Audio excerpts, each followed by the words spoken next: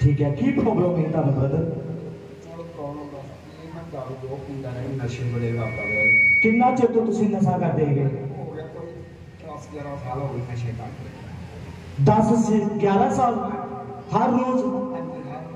ਉਦੋਂ ਕਿੰਨੀ ਦਾਰੂ ਪੀਂਦੇ ਤੁਸੀਂ ਇੱਕ ਦਿਨ ਚ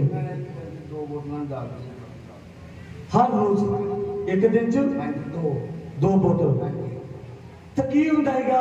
ਤੁਹਾਨੂੰ ਲੱਗਦਾ ਹੈ ਕਦੇ ਸੋਚਿਆ ਹੈਗਾ ਕਿ ਅਸੀਂ ਦਾਰੂ ਨੂੰ ਜਾਂ ਮੈਂ ਛੱਡਣਾ ਚਾਹੁੰਦਾ ਹਾਂ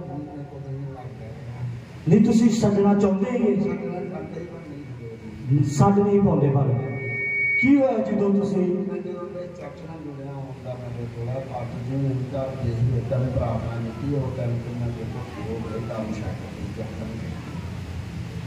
ਕਿਸ ਦਿਨ ਜਿਸ ਦਿਨ ਤੁਸੀਂ ਪਹਿਲੀ ਵਾਰੀ ਚਰਚ ਆਏ ਕੀ ਹੋਇਆ ਪ੍ਰੋਫਟ ਜੀ ਨੇ ਜਦੋਂ ਤੁਹਾਡੇ ਲਈ ਹੈਂਡ ਪ੍ਰਾਰਥਨਾ ਕੀਤੀ ਕਿੰਨਾ ਚਿਰ ਤੁਸੀਂ ਦਾਰੂ ਪੀਤੀ ਲਗਾਤਾਰ 11 ਸਾਲ ਲਗਾਤਾਰ ਦਾਰੂ ਪੀਤੀ ਕੀ ਹੋਇਆ ਜਦੋਂ ਪ੍ਰੋਫਟ ਜੀ ਨੇ ਤੁਹਾਡੇ ਲਈ ਹੈਂਡ ਪ੍ਰਾਰਥਨਾ ਕੀਤੀ ਛੁਟਕਾਰਾ ਮਿਲਿਆ ਕਿੰਨਾ ਚਿਰ ਹੋ ਗਿਆ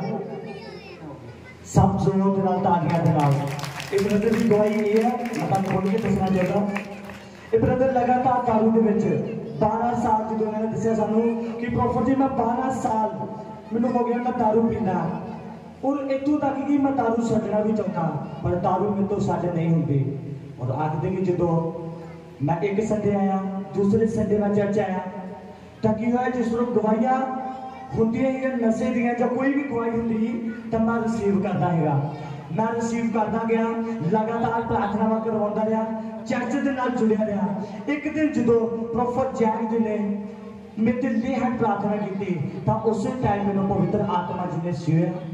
ਔਰ ਉਸੇ ਟਾਈਮ ਮੈਨੂੰ ਐਡਾ ਹੋਇਆ ਕਿ ਮੇਰੀ ਬਾਡੀ ਦੇ ਵਿੱਚੋਂ ਕੁਝ ਨਿਕਲ ਕੇ ਗਿਆ ਔਰ ਸੱਚਮੁੱਚ ਨਸ਼ਾ ਉਸ ਦਿਨ ਤੋਂ ਮੈਂ ਛੱਡ ਦਿੱਤਾ ਯਿਸੂ ਮਸੀਹ ਦੇ ਸਮਰਥੀ ਨਾਮ ਦੇ ਵਿੱਚ ਦੁਬਾਰਾ ਉਸ ਤੋਂ ਬਾਅਦ ਦਿਲ ਕੀਤਾ ਪ੍ਰਾ- ਅਹ ਆਪਣਾ ਦਾਰੂ ਪੀਣ ਦੇ ਲਈ ਬੀੜੀ ਪੀਣ ਦੇ ਲਈ ਕੀ ਹੋਇਆ ਉਸ ਤੋਂ ਬਾਅਦ ਫਿਰ ਧੰਨਵਾਦ ਆ ਪਰਮੇਸ਼ਰ ਦਾ ਜ਼ੋਰ ਦੇ ਨਾਲ ਤਾਲੀਆਂ ਦੇ ਨਾਲ ਇਹ ਬ੍ਰਦਰ ਅੱਜ 12 ਸਾਲ ਉਸ ਨਸ਼ੇ ਦੇ ਗੰਦੇ ਦੁਸ਼ਟ ਆਤਮਾ ਤੋਂ ਆਜ਼ਾਦ ਹੈ